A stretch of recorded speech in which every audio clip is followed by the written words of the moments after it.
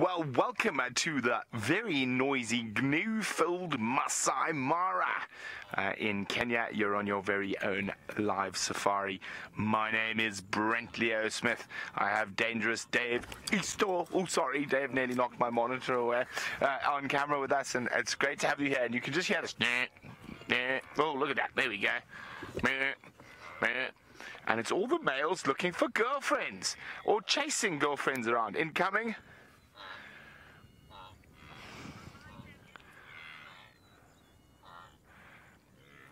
Now, of course, guys, it is just a boy looking for a girlfriend, but they have many girlfriends, Wildebeest.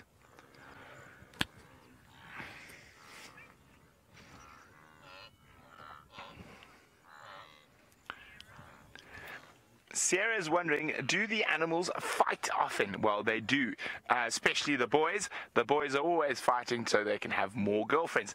But sometimes you might get two different species that chase each other and it looks like we might get a little bit of that now. Sometimes young elephant bulls, here we go, like to chase other animals, and that's just for fun. One to the right, that guy, yeah. He looks like he's got a little bit of mischief in his ears. Now the elephants don't like when the wildebeest are around. They're noisy. They make all eat all the grass. So these will quite often at this time of the year be moving towards the hills uh, where they can get away from the wildebeest.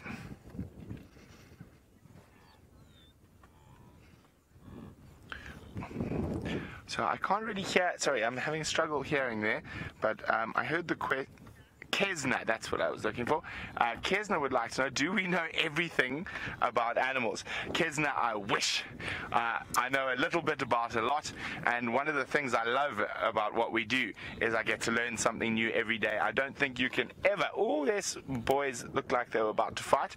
I don't think you can ever know everything about the animals because I don't think we, we completely understand them yet, and uh, they can prove you wrong every day. So what that boy is doing now, he's putting mud on his face to make himself look more scary so no one wants to fight with him. So it's like war paint for a wildebeest.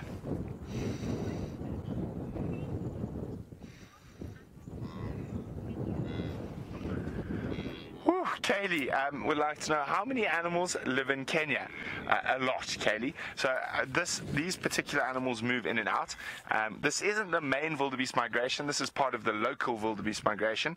So there's already about 20,000 of them. But the there's a whole bunch of wildebeest coming to visit from uh, Tanzania. There's about 1.6 million of them coming to visit, but there are lots and lots of animals in Kenya. And if I had, I would be lying if I had to guess an exact number to you.